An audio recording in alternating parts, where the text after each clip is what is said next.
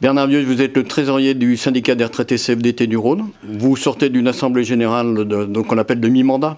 Euh, qu'est-ce que vous tirez, vous, aujourd'hui, de ce que vous avez entendu de la part euh, des retraités, du terrain?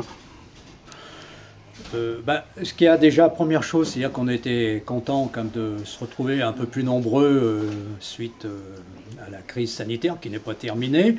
Autrement, dans les interventions des différents militants, bon, il y a des demandes effectivement de, repartir sur des actions, d'être un peu plus euh, visible au niveau de la CFDT. Voilà, donc euh, il faut qu'on reparte sur. Euh, sur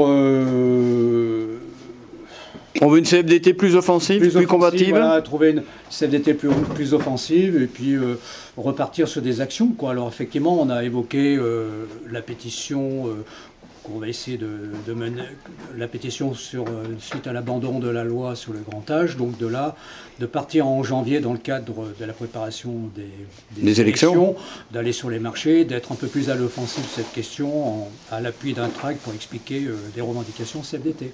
Alors, trésorier, il regarde un petit peu les rentrées, il regarde les cotisations. Comment se porte le CFDT des retraités dans le Rhône? euh, Si en 2020, on a eu effectivement un tassement, on ne peut pas dire qu'on est baissé. Hein. En nombre d'adhérents, on est à peu près stable. On est le même nombre d'adhérents.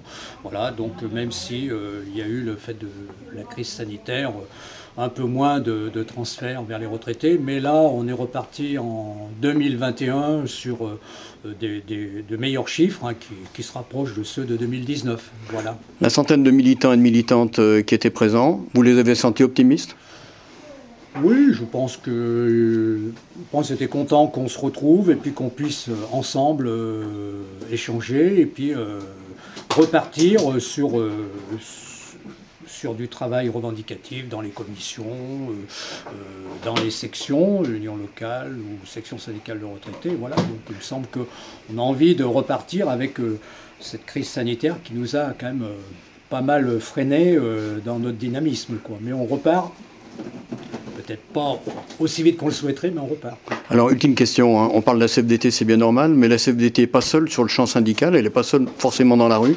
Alors, ici dans le Rhône, on pense qu'on peut agir tout seul ou on voit des rapports éventuellement avec d'autres organisations syndicales? Bah, disons que nous, euh, on avait développé en, interne, dans le cadre d'un précédent d'un congrès régional, euh, débattre un peu de la recherche euh, de convergence, de, convergence syndicale. Bon, apparemment, euh, c'est vrai que la période n'est pas facile. Hein, euh, même nous, si on souhaitait débattre avec d'autres organisations d'un centre de revendication, effectivement, on, est actuellement, pour diverses raisons, un peu, un peu isolé sur cette question. Quoi. Mais vous vous résignez pas? On ne se résigne pas et effectivement, on, on est toujours ce qu'on avait développé lors de notre congrès régional euh, de, la, de, la, recherche, la recherche de convergence syndicale. L'unité d'action. C'est difficile, quoi. On parlait de convergence syndicale, même si on sait que la, la période est difficile pour le faire. Voilà.